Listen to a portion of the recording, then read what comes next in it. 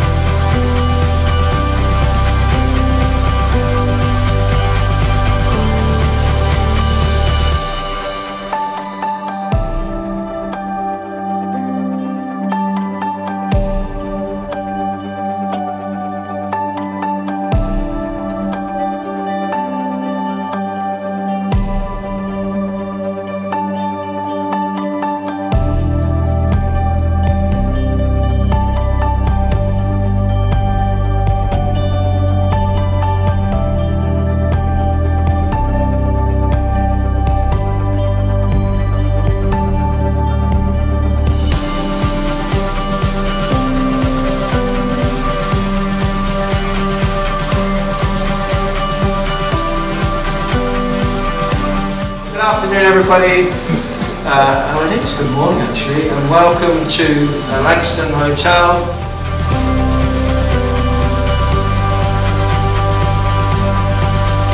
I, Samuel Thomas, take you, Emma Catherine Stone,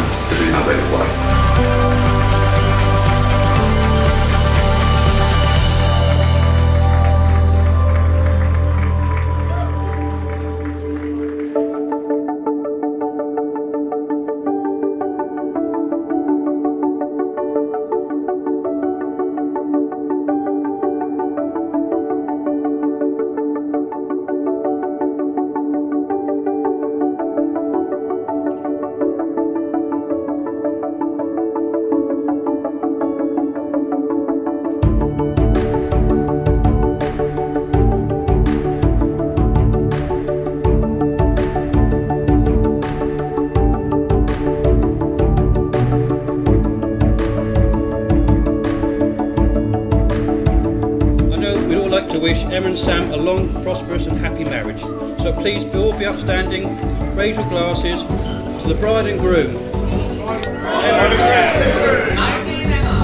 And Emma's a fantastic mum. She is my best friend. I love her so much. And I, Karen's gone. I just can't, uh, there's nothing more I can say. So if you'd like to raise your glasses to my beautiful wife and everybody that's helped with the preparations for this today. Thank you very much.